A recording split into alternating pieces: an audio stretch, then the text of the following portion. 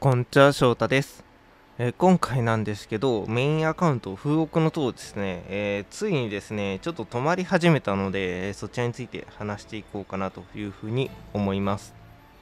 え体調の方はですね、かなりマシになりました。昨日の夜39度2分までですね、えーと熱を測った中では上がってですね、ちょっとかなり焦っていたんですけど、えー今日はまあ37度ぐらいはありますけど、とりあえず、まあ、平熱ではないですけど、まあ、ちょっと高いですけど、あのーまあ、ある程度許容できる範囲の、えー体温にはなったんで、とりあえず活動は再開しようかなというふうに思っています。まだちょっと体は熱いなというふうには感じますけどね、えーあんまりちょっと物は食べられないですね。もう飲み物飲みまくりって感じです。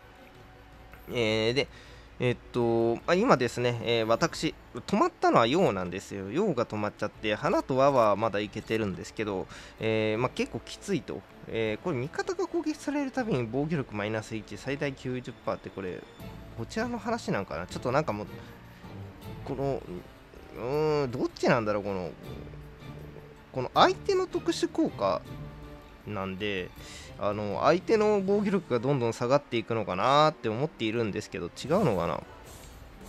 でもう敵の火力もめちゃくちゃ高くてですね基本的にあのある育成できてないようなキャラクターはワンパンされちゃいますね。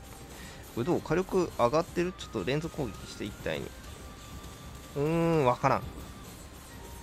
帰国士おあー？ちょっと連撃とかあったら分かりやすいんですけどね。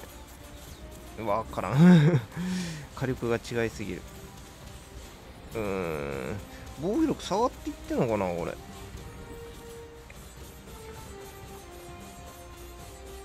あバリアついてんなよく見たら。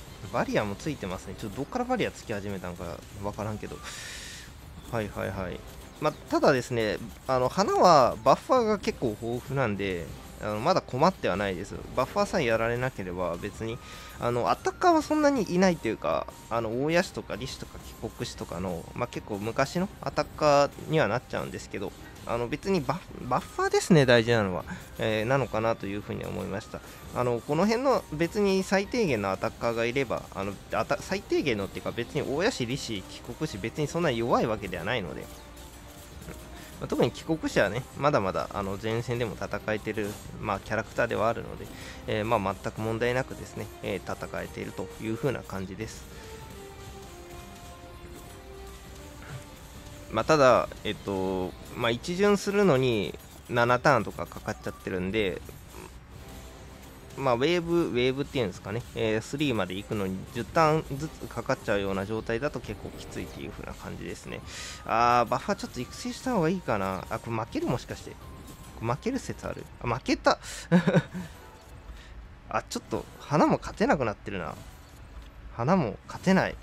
うん、どうしようかな。うーん、まあ、かといって、入れ替えるキャラもそんなにいないんだよな。えー、どうしようかな。そして体温の高まりをすごく感じます。うん、花嫁化とかしてたらな、陽線とかリコ入れるんやけど、あそういうわけではないからな。うん、どうしようかな。コキビなんで抜いてんの？コキビは、コキビせん、まあ、コキビ、育てる？コキビ。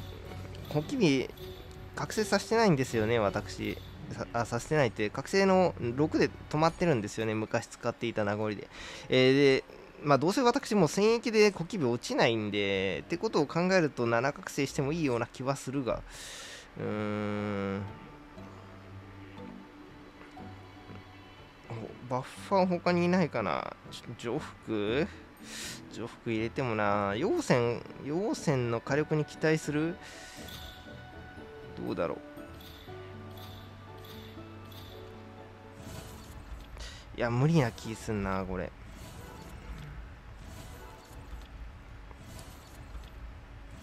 ついに止まっちゃいましたね。あ、全部止まったのかなこれもしかして。わ、余裕があるんですよ。なんか、なんかわかんないですけど。まあ、あの、和は私のメインとするアタッカーたちがですね、基本的にいるっていうところで、そのおかげで結構マシなんかなって思ってるんですけど、あ、ガンガイがついてる。どうなってんの？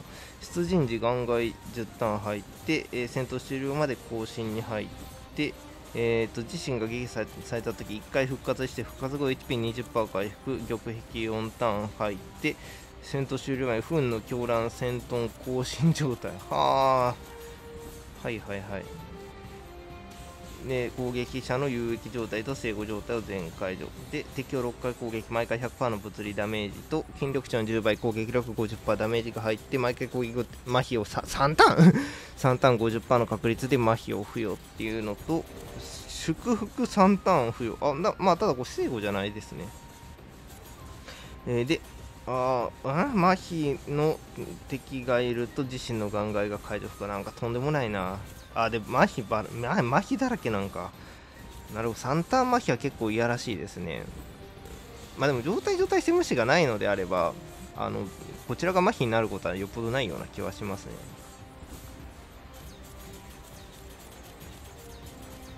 いや、そうか、ど、どっからバリアついてんだ ?400 からかな？ちょっと後で確認しますか。いや、これきつそうだな。シンプルに。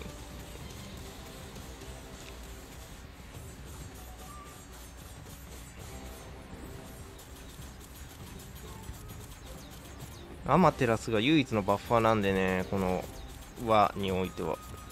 そんなことないんかな？ちょっと後で見てみようか。ちょっとここの、この5人だけでここまで来れてたんで、なんか特にいじるっていうことをしてなかったんで。負けるな、これ。うーん、マジか。装備解放。装備はなんかすごい装備ついてる。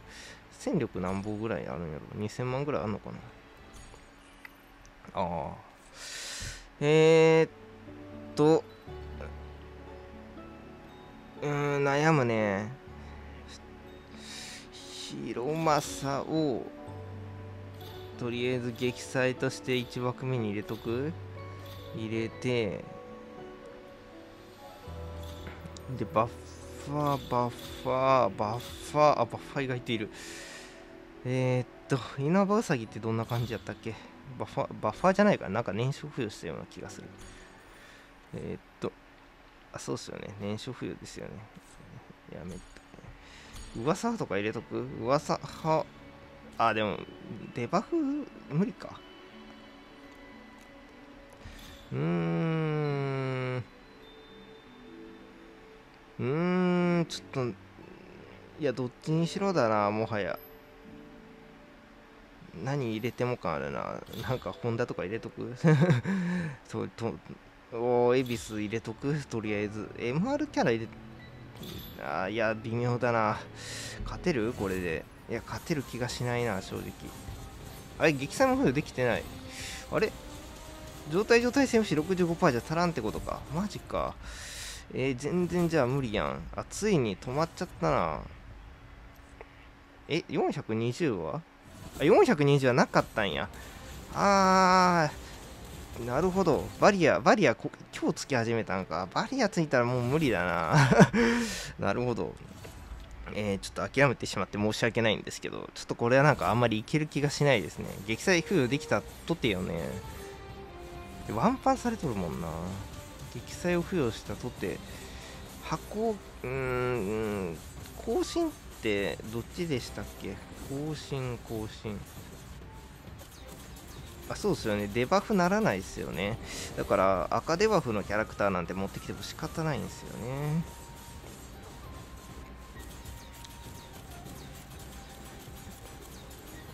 うーん。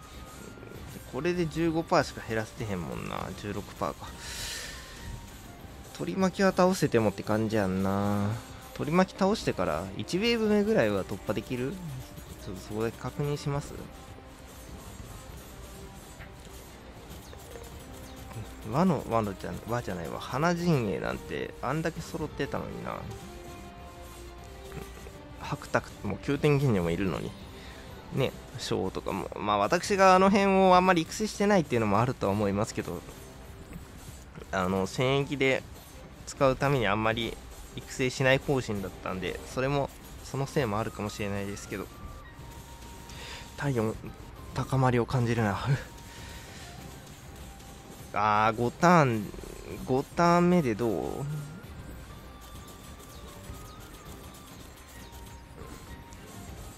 結構罪悪状態はつけてるけどね。まあでもやっぱ箱ないのがきついよな。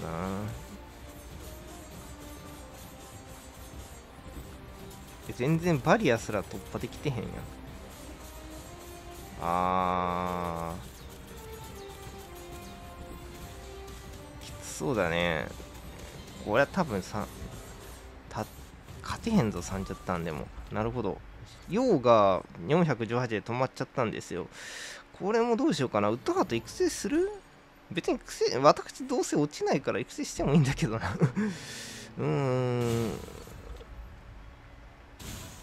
こっちはなんとか突破したいなっていう気持ちはあるんですけどこっちはどんな感じなんやろ陽もね意外とキャラクターいないんですよね。私のベスメインベストメンバーを揃えたらこんな感じになったんですけど。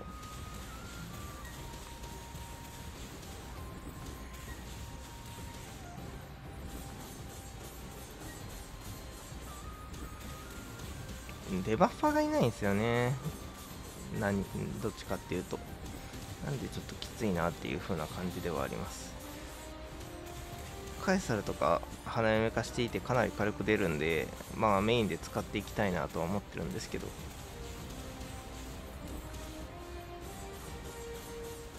あでも意外と。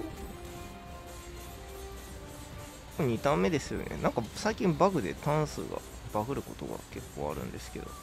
あれこれ勝てる？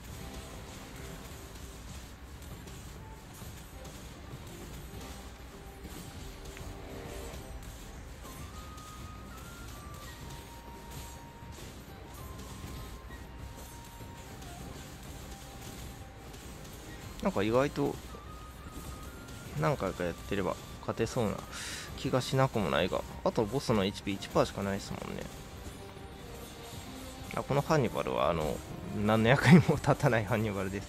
いやこのアウススの撃砕がいい感じに付与できたらいいんですけどちょっと良くも悪くもですね集中攻撃になっちゃうんで撃砕をばらまけないんですよね。どうしても上からって感じになっちゃって。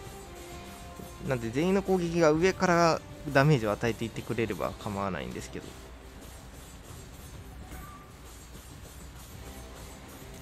あー倒しきって次のキャラクターに撃砕を付与してほしかったな。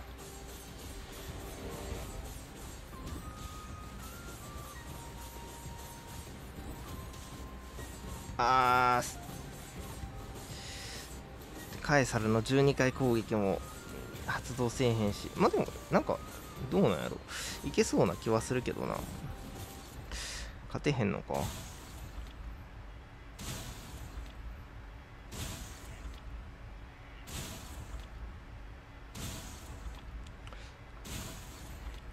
うんなかなか厳しいですね。ちょっととりあえず私はえー、花と輪に関しては420でに勝利した段階で421から、まあ、バリアが実装されるというところでちょっとその時点で無理になっちゃいました。で陽に関してはですねちょっとまあウッドハート育成すればいけそうな気はしてるんですけどあのウッドハートが今すぐ落ちちゃうんで7覚醒までしてあげるとあのー、まあ、致命ダメージ無視復活か復活2回できるようになるんでここまでいけば落ちなくはなるかなと思うんです420まではいけると思うんですけどどっちにしろその先の希望が全く見えてないので一旦ここまでじゃないかなというふうには思います。まあ皆さんもですね421からはかなり絶望的な状況になってくるかなと思うのでえー、っとまああの別にもう焦る必要は全くないんでもう私もできるところからやってるって感じなんでもう全然もうギー5色軍も300もお最近ねアバター結構取ってるんでもしかしたらその影響でちょっと進むようにはなってるかもしれないですけどちょっとだけやらせてください、まあ、やっぱ MR アバターをどれだけ持っているかになってくるんじゃないかなと思います義合色軍に関してはそういう意味ではまあ孫将校の MR アバターは楽しみに待ってるんですけど意外となかなか来てくれないっていう風な感じです。私は、まあ今こんな感じですね。まああの、全然あのー、まあ、無課金のアカウントとかもあるんで、ちょっとそちらもですね、えー、まあ、またやっていきたいなというふうには思っているんですけど、もうあの421からはなんか、もう一段階課金してる方じゃないと無理だなって、ちょっと直感的には思ったんで、あの参考にしていただければ嬉しいです、えー、今回の動画はここまでにしようと思います。これからも放置少女の動画を上げていくので、メンバーシップの登録、X のフォロー、高評価、チャンネル登録、スーパーサンクスよろしくお願いいたします。